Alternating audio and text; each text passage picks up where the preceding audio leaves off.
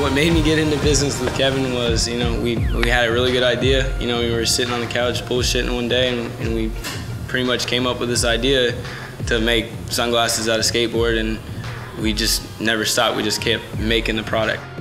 I never really thought about doing it like this to make money. Like at first I thought it was awesome idea, maybe like, you know, be an artist, whatever, you know, and then like my aunt came up with the name and then I was like, oh, it's on, like we're doing a company. And then I called him and we started working at my dad's house like pretty much every day for like weeks, you know? And then we got like a couple pairs.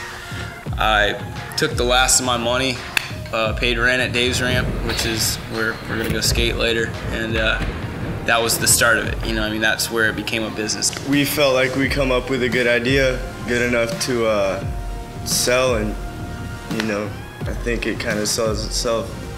Uh, Deck Specks was the originator of skateboarding sunglasses. We are the first people to do it. Like when we started, you could look on the internet and it didn't exist.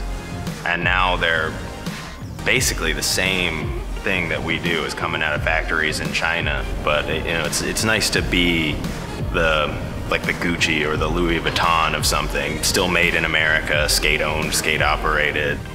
Basically, you know, everything that we procure, you know, I mean, from all the skateboards and stuff like that is all local homies. It's literally mainly everyone in Atlanta that's skateboards. You know, it's it's almost self-sufficient. We're actually repurposing old skateboards, so it's cool. You know, I used to have a mountain of them in my house when I was a kid, and now something can happen with that mountain of trash. Get the boards from, you know, what we rode and what our homies rode, and that alone cuts out a lot of costs for uh, trying to make a product. So it's there, you know, the boards are there. Yeah, free material, you know what I mean? And so now there's glasses. The step by step, I guess, breaking it down, like how glasses are made, is it gets degripped, which is right there behind you.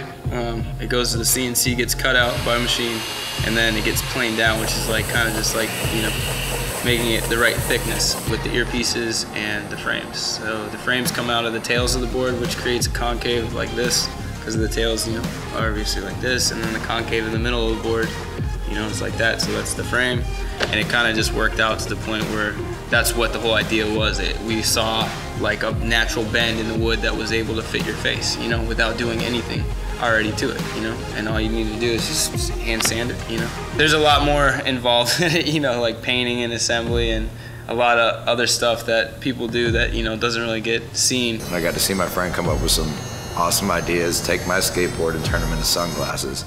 I can wear those sunglasses. Now everyone's stoked on them. Everyone wants to wear them. They've progressed from not being able to barely put them together to laser engraving whatever you want on the side to it's a nice product. The fact that the company's um, sprouted from a hobby, a pastime of both of ours, and you can actually make money out of your hobby, which was at first uh, it would be as a kid I thought you know to skateboard professionally, but to have something sprout out of uh, skateboarding, which isn't you know being the Actually dude that, skateboarding. yeah. Yeah, it's kind of weird.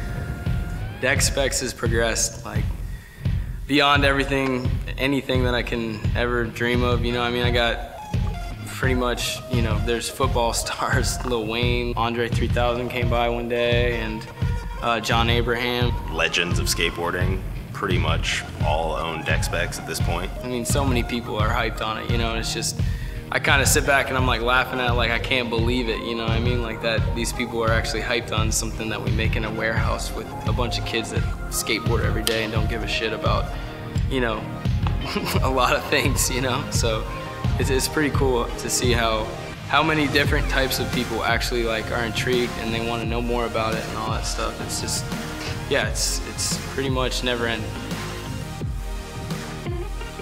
Where do I see the company in 10 years?